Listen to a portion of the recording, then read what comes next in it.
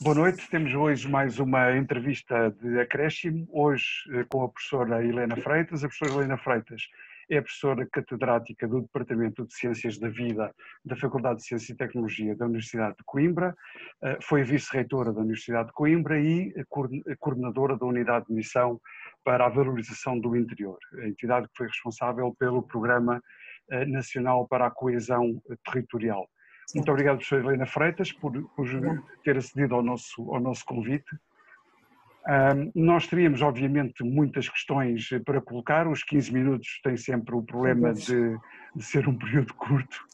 Um, eu, se calhar, ia, ia pedir para comentar uma, um cartoon uh, que tem sido muito difundido na,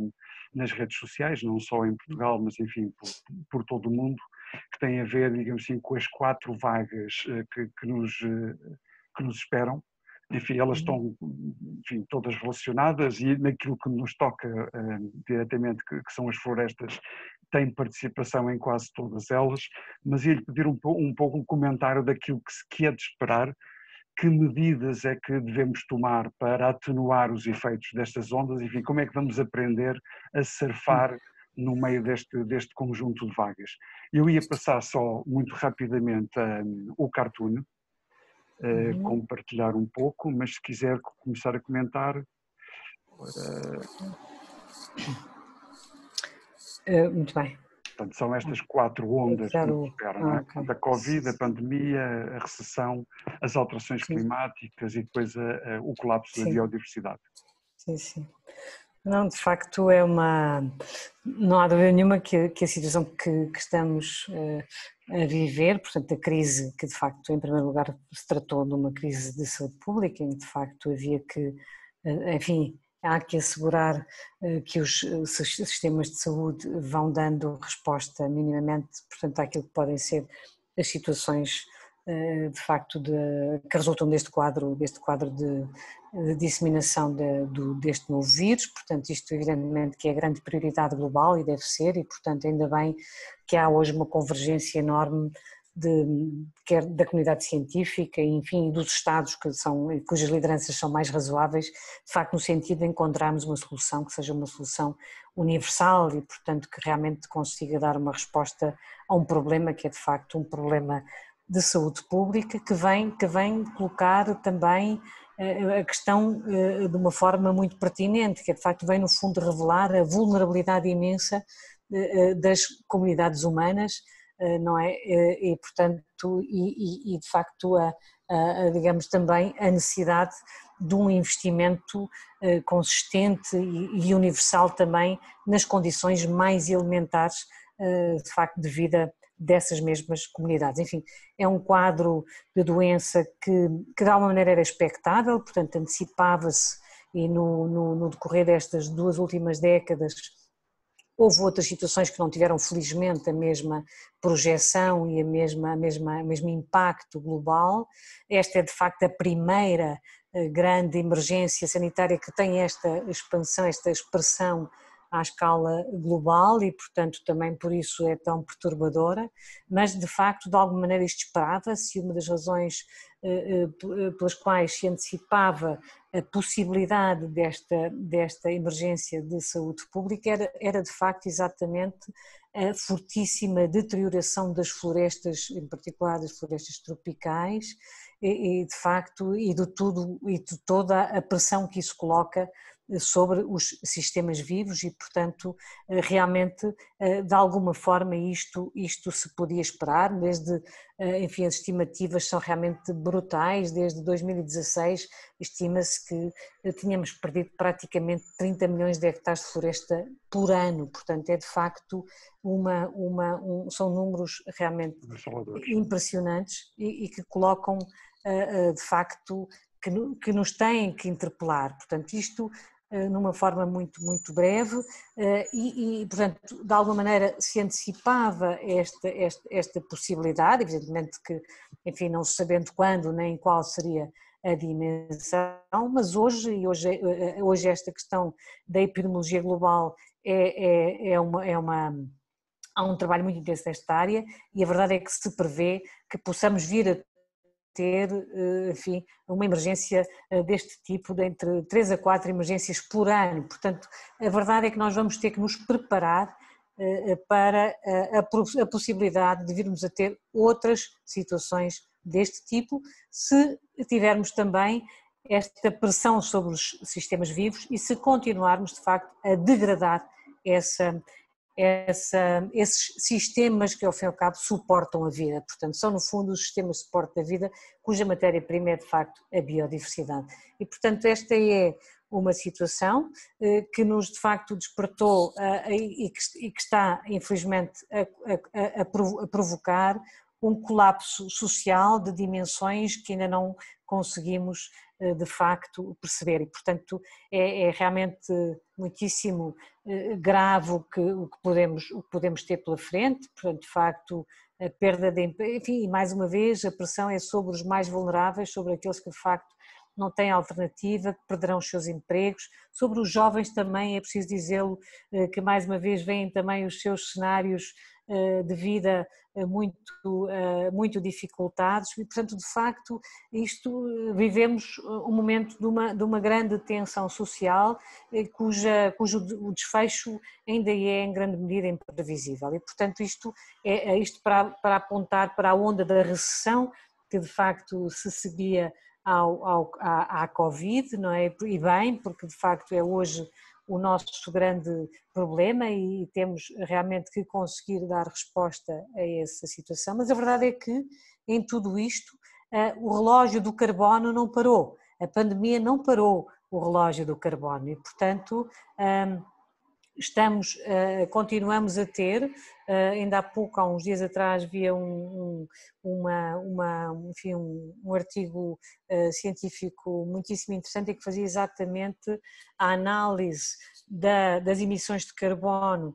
ao longo do século XX e, portanto, e agora nestas, primeiras, nestas duas primeiras décadas, exatamente, e fazia, digamos, uma extrapolação para as diferentes eh, situações de sobressalto de alguma espécie, ou, ou por em virtude da Grande Depressão, nas primeiras décadas do século XX, depois das duas grandes guerras, e portanto, e sempre que houve aqueles picos correspondentes também à, à questão uh, do petróleo e, portanto, e, e, e, fazia uma leitura do que é que aconteceu na sequência desses momentos em termos de emissões de carbono, que tipicamente baixavam ligeiramente, mas depois voltavam a subir. Também agora, a verdade é que tivemos uma descida de cerca de, de 7%, eh, que foi, que foi muito evidente, sendo que aquilo que esperamos para o cumprimento do Acordo de Paris, aquilo que precisamos até 2030 para o cumprimento de Paris, não são estes 7, são 50%. Não é? E, portanto, de facto, apesar deste, deste decréscimo, a verdade é que, eh, ainda assim, nós temos muito mais eh, por fazer para conseguir de facto e portanto é normal que essa onda esteja, essa onda ainda esteja maior e mais evidente do que aquelas que, que, já, que já mencionei, é que é de facto a questão climática é uma questão inexorável, vamos ter que abordar, vamos ter que a resolver, porque senão, de facto, os cenários que nos esperam são ainda bem mais complexos a todos os níveis e, e portanto, é, é, realmente muito importante que, que, este momento também seja um momento eh, de oportunidade. Eu sei que isto é muito fácil dizer, eh, eh, é muito mais difícil tornar isto de facto praticável, materializado e que as políticas, as lideranças políticas de facto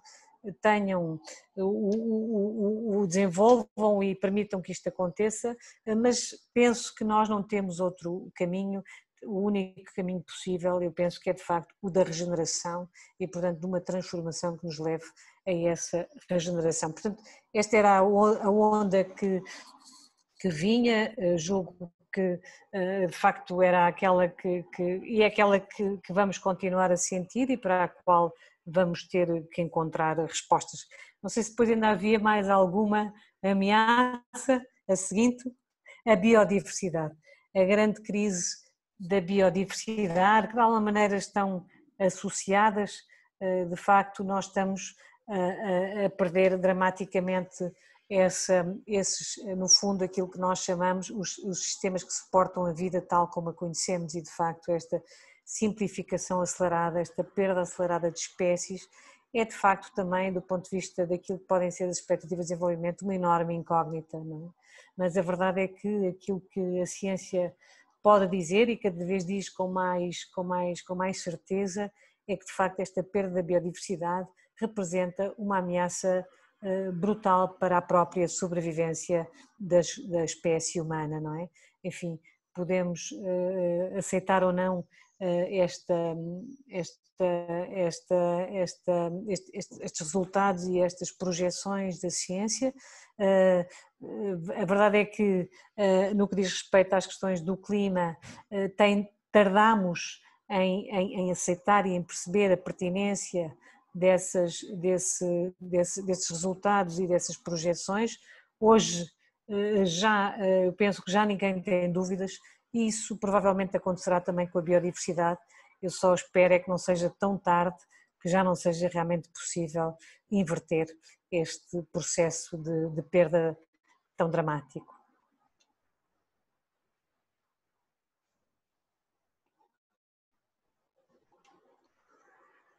Eu não estou a ouvir, não estou a ouvir.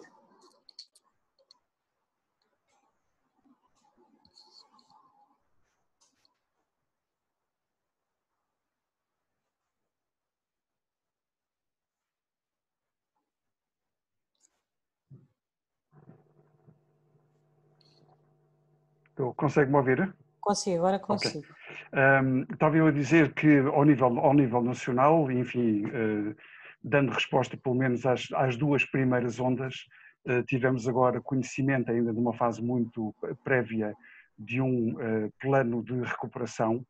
um, a professora esteve ligada ao, ao, a um plano, enfim, de, de, de, uhum. para a coesão territorial, que, enfim, não será propriamente a mesma, a mesma, a mesma resposta, uh, mas uh, estava-me a lembrar umas palavras há, um dia atrás na, há uns dias atrás na RTP3 do, do economista Ricardo Paes Mamed, em que ele dizia, bom, que um grande problema deste plano agora do, do professor António Costa Silva um, advém do facto de não se ouvirem as, as diferentes instituições que obviamente podem um, operacionalizar a execução de algumas destas medidas. Eu lembro-me, quando foi do, do Programa eh, Nacional para a Coesão Territorial, enfim, que a professora ouviu umas centenas, se não milhares de organizações exatamente para a elaboração do plano. Que comentários lhe suscitam uh, daquilo que é conhecido um, ehm, este, este plano uh, que está agora em cima da mesa e que ficará disponibilizado para consulta pública, penso eu, no início de, de agosto. Uhum. Uh, particularmente a mim preocupa-me a questão da um item que vem lá relacionado com a com a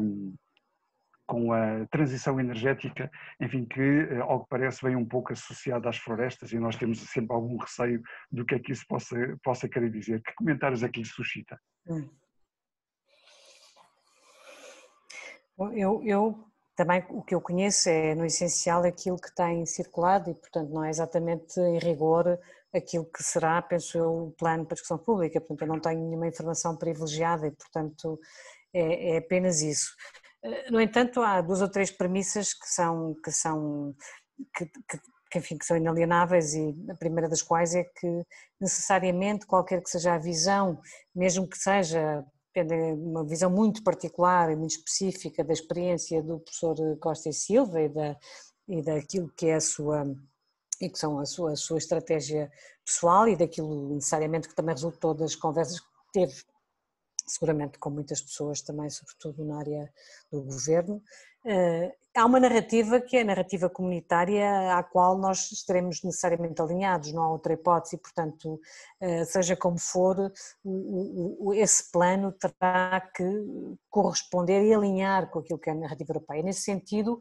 é bom e é importante que esta narrativa eh, comunitária seja hoje, penso eu,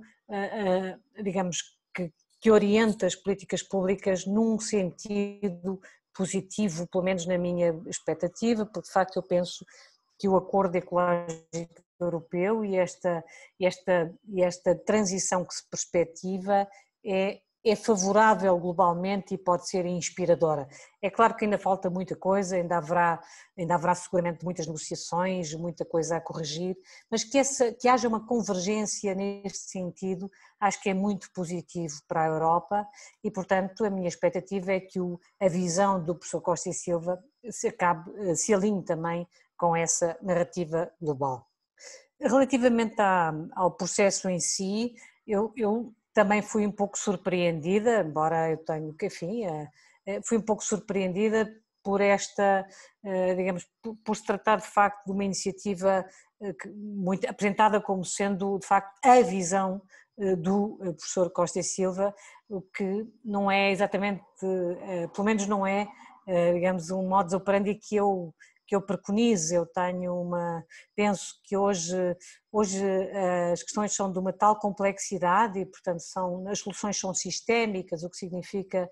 que é preciso de facto ter um entendimento eh, muito, digamos, eh, muito amplo daquilo que são os processos e desde logo até no plano conceptual. Enfim, eu admito que ele tenha uma enorme cultura e uma enorme experiência e portanto seguramente, que, que, que nesse sentido eh, também o louvo a, a vontade e o entusiasmo e a iniciativa, mas de facto eh, fica-me um pouco, fiquei um pouco perplexa com isso, embora estou convencida que seguramente partilhou e que, e que o plano acaba por ser construído numa relação ampla com, com muitos protagonistas, não há sequer outra forma eh, de fazer. Portanto, acredito que isso, que isso, que isso tenha acontecido e que aconteça. Agora,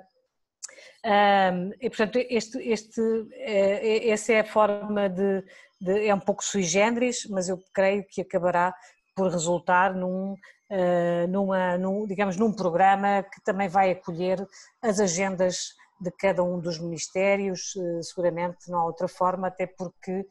para que depois seja possível implementar é preciso exatamente alinhar e portanto não haverá, não haverá volta a dar, não é? Agora é de facto surpreendente a forma, mas enfim é uma escolha que passa pelo, pelo seu Primeiro-Ministro e pela, e pela estratégia utilizada. Relativamente à questão concreta que coloca do receio que pode ter pela aposta na, na transição energética, quer dizer, não, não há este, esta, esta transição tem, tem duas premissas essenciais, portanto tem que de facto que conjugar a transição, portanto, e a, a questão, a transição energética tem necessariamente que ser feita em articulação estreita com a reforma fiscal, é? Portanto, isto não há, não há forma de o fazer sem realmente penalizarmos, isto é, deixarmos de subsidiar os combustíveis fósseis, por um lado, mesmo que de forma gradual para que o sistema se adapte, mas tem que ser uma gradualidade eficaz, não é? E por outro lado, temos de facto que ser capazes de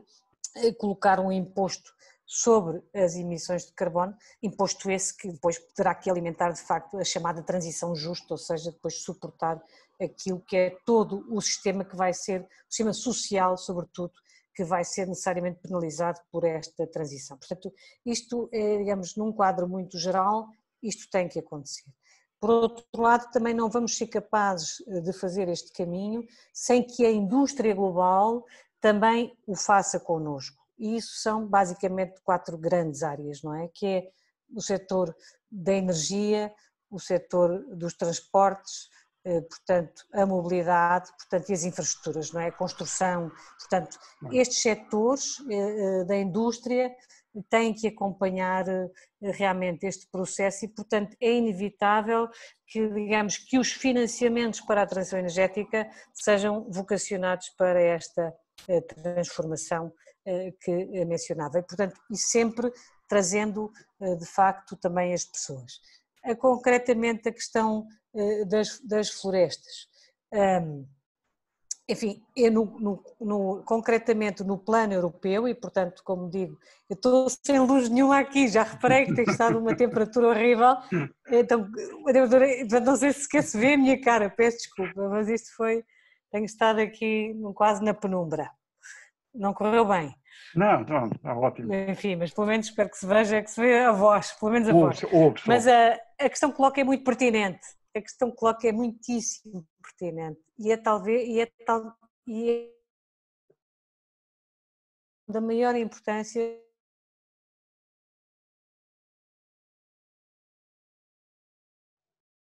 penso que o, o acordo europeu de facto coloca a natureza no centro do, do, do, do, pensamento e das estratégias, das estratégias setoriais. Eu penso que a natureza está presente e, portanto, há aqui uma, uma convergência entre, de facto, um conjunto de políticas que querem gerar mais sustentabilidade numa com a natureza, portanto, com a natureza, e neste caso, evidentemente, que as florestas são uma peça essencial, não é?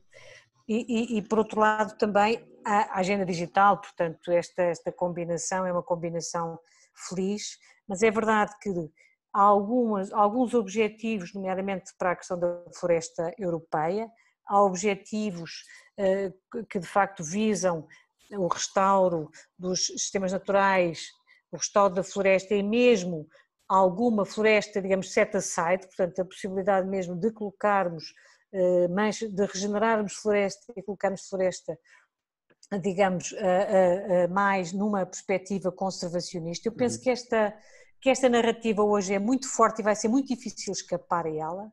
mas tem razão quando, quando, quando está inquieto e quando pensa, mas como é que isto vai acontecer? Eu, eu penso que isso ainda está por fazer. Uh, uh, enfim, nós temos de facto uma estratégia 2030 para a biodiversidade, que tem alguns objetivos e metas que também tocam, evidentemente, nas florestas, mas propriamente uma agenda para a floresta ainda vamos ter que a, que a construir. E, e Portugal uh, também tem que a, que a, que a, que a, que a construir uh, e espero que ela passe fundamentalmente, de facto, por trazer a biodiversidade e colocar, de facto, também a floresta como uma, uma, um elemento essencial, quer na mitigação, quer na adaptação às alterações climáticas, portanto, e também como o, o, o repositório dinâmico da própria biodiversidade, não é? Portanto, eh, eu penso que isso são eh, questões que, que entrarão, não é ainda muito claro, e nem penso que neste relatório que é público,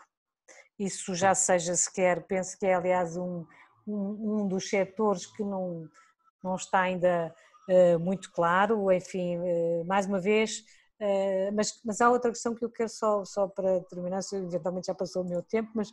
dizer que aquilo que também disse que é importante e que, e que e eu tenho por experiência isto, é muito importante de facto termos exatamente, percebemos quem são de facto os agentes deste plano, as pessoas que o implementarão, quem tem responsabilidades, não é? E para que de facto seja possível eh, acreditarmos eh, que este, que este plano de facto será, será efetivo, mas como digo,